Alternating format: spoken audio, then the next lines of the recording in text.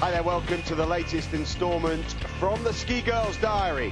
And this weekend in Lienz, we're catching up with Mickey Kirchgasser of Austria.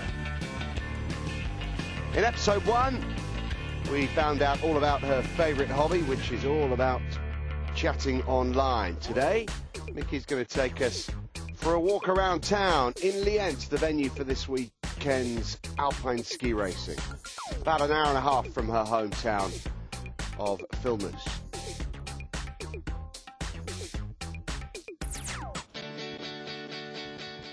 Guten Morgen, hier in, vom Lienz vom Stadtplatz. Morning, we're Um, in Lienz in the main square. We're going to have a walk around town, and after that, I'm going to have to come back and work on my skis ready for the race.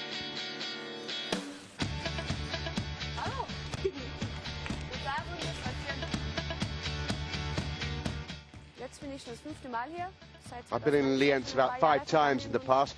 Usually we race here once a year or so, and hopefully this year I'll have a good run on the hill.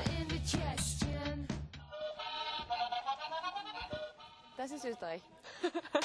That's Austria.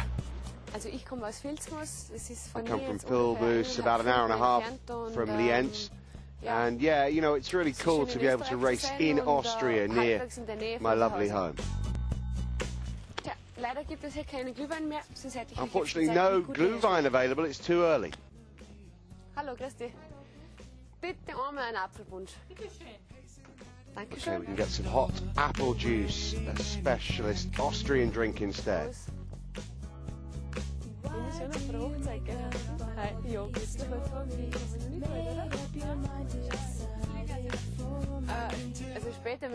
You know, later on in my life, I'm dauert jetzt noch ein bisschen. planning to have kids, but for the moment, I- we'll just have to hang on. Partner, viel Spaß und alles I like to spend a lot of time with my nieces and nephews when I have time. In beiden Rennen unter die ersten fünf. We hope that she's in the top five for both of the races here.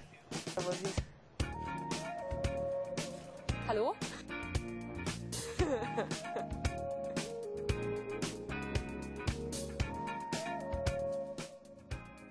gehe an und für sich schon gerne einkaufen. I love to go shopping, Ähm, but when I'm competing, I don't have so much time, so it's good to get an opportunity Ansonsten nehme ich mir to get some time to buy some new clothes die ich zu when Hause bin, dann schon I'm off work and I ähm, enjoy taking the new stuff das with me to the mitnehmen zu den next events.